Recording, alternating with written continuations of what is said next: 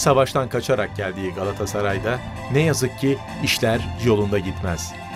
Teknik direktör Feldkamp'la uyum sağlayamayınca Gaziantepspor'a gönderilir. Bir futbolcu onu hisseder yani hoca seni istiyor istemiyor falan. Yani devamlı böyle benden ben değildi ve benden hep olmayan şeyler istiyordu. Bir de bu savaş olayı, bir de yaş olarak, bir de yeni daha hiç kimseyi tanımıyordum, dili bilmiyordum yani kimseyle doğru düzgün konuşamıyordum. Az kalması belki de daha iyi yani şu anda. Çünkü İstanbul'da da bir Boşnak şeyler de var. Hep oraya gitmeye çalışıyordum, hep o insanlarla görüşmeye gidiyordum falan.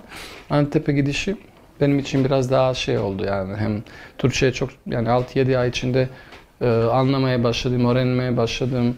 Daha çok futbola noktalandım. Yani benim için çok daha iyi oldu.